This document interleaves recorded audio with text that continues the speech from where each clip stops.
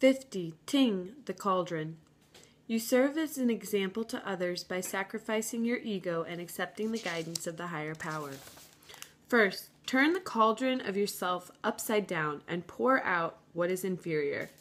By purifying yourself of bad habits and attitudes, now you make possible outstanding achievements. Second, others may envy and seek to test the superior person. Concentrate on remaining innocent and correct, and you will not be harmed. Third, the superior person is always recognized in due time. If you do not have the influence you would like, consider whether you may be blocked by some assertion of your ego. Fourth, a position of influence is a position of responsibility. Neglecting your character now invites a humiliation. Fifth, one who remains modest and open and who retreats from what is inferior whenever it appears will have help in times of difficulty.